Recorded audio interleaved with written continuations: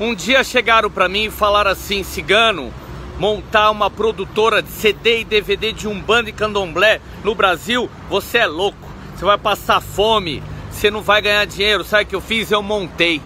Passaram mais três anos, chegaram para mim e falaram assim, cigano, você é louco, vai montar uma loja de Umbanda no Jabaquara, você não vai ter final de semana, você não vai ter vida. Sabe o que eu fiz? Montei, montei a loja Casa do Cigano, a primeira.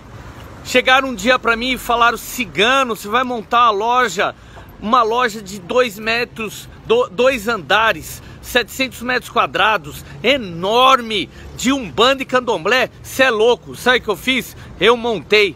Aí eu falei para todos: o meu sonho é ter um shopping com todo luxo, com todo luxo que um umbandista e candomblecista ele merece.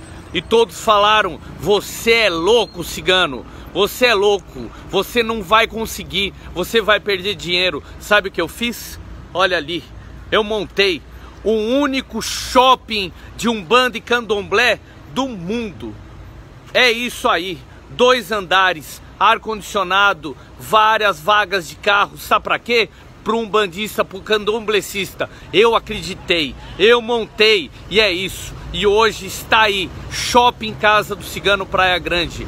É isso, acredite no seu sonho. Acredite que você consegue não escute ninguém. Escute somente o seu coração. Shopping Casa do Cigano, um sonho realizado. Beijo do Cigano.